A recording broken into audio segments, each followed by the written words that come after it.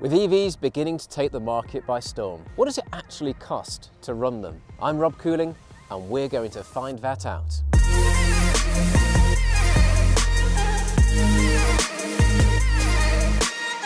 Now my personal cost that I've experienced in my time with EVs was going from a petrol bill of £240 a month and it's suddenly dropping to an electricity bill of £70 a month which was about my first two years of driving an electric car. But nowadays, I've switched over to one of the new emerging energy companies that are offering far cheaper rates of energy, primarily aimed at EV drivers charging overnight. So whereas I used to pay 15 pence a kilowatt, which is a fairly normal amount to pay for home electricity, I now pay just 5 pence per kilowatt hour at night time to charge my EV, which has taken that monthly figure down from £70 a month to about £30 a month from the original 240 for petrol. That's a very significant saving. And that is what offsets the higher upfront costs.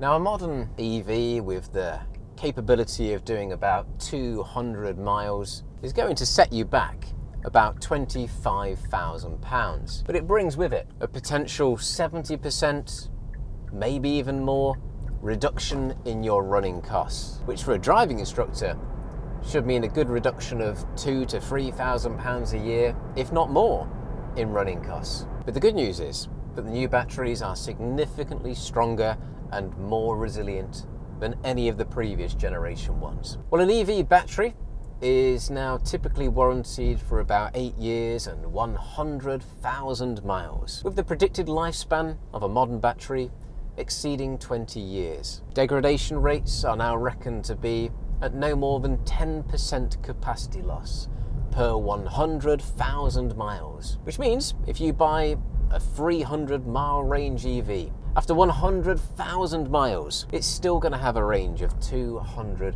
and 70 miles. Beyond that, you've still got a very reliable car.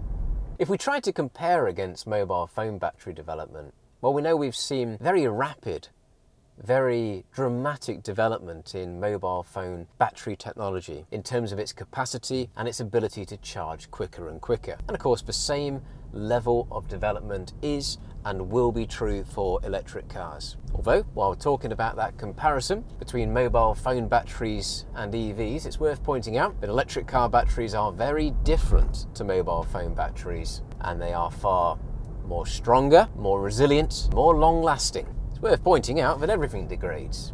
Combustion cars degrade with time. An engine will not return the same miles per gallon 100,000 miles into its life as it would have done when brand new. Not to say that combustion cars can't do hundreds of thousands of miles, but I'd imagine they need a little bit of uh, tender loving care and patching up to keep them going. There are plenty of examples of EVs with hundreds of thousands of miles on their batteries and still going strong. I intend to keep my next electric car long term with an intention to run it far beyond 100,000 miles. Now another nice benefit is the reduced servicing and maintenance costs. Due to EVs possessing approximately 90% less moving parts, resulting in cheaper maintenance and cheaper servicing, with a service costing about £70.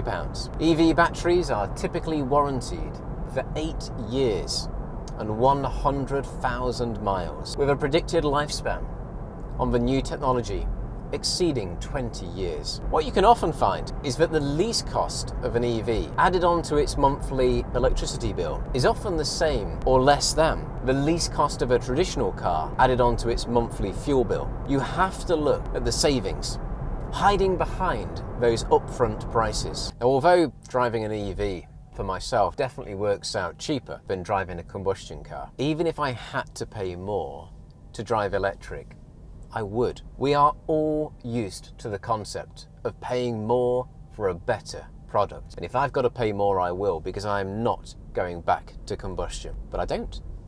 It's cheaper and it's fantastic. Now, I can talk about my personal experience with insurance. Now, I've found that uh, insurance has been, for me, the same as it was with a combustion car. I've not really noticed any significant changes. But of course, insurance is always difficult because it's very unique to the individual and their circumstances. There are some who have experienced increased rates of insurance when switching over to electric cars. But not for myself. Now, currently, EVs are um, tax free in terms of vehicle excise duty, but I would describe this as an early adopter benefit. It's not something that can last going forwards into the future, because rightly so, the government will need to generate revenue, which is being lost through plummeting sales of petrol and diesel, so that they can generate that revenue, but is much needed to maintain the infrastructure going forwards. Most likely, we are going to see some kind of mileage tax system making its appearance across the next decade.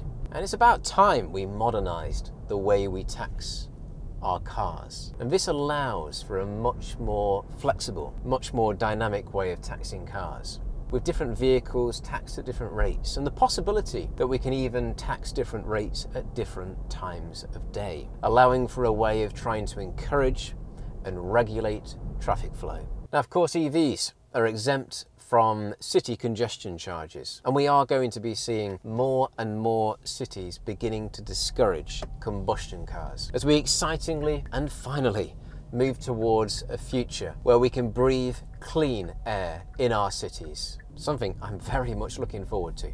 I often hear people talking about delaying purchasing an electric car because the next generation of technology is just round the corner. And it's true, the pace of the development is phenomenal. As electric motors and battery technology leap from one breakthrough to the next breakthrough. And across the next decade, we are going to see radical development in the technology, unlocking all kinds of new potential and new possibilities. Clinging on to outdated combustion technology cannot offer this level, this rate of development. For me personally, I'm now buying the EV, which will be my very, very long term EV, because the right time to buy the car is when the car meets your needs. Now, with me personally, in this 300 mile range EV, charges plenty fast enough for me. This more than meets my needs. So, even though I could wait a couple of years and hang on for the next generation of technology to appear, for me, the right time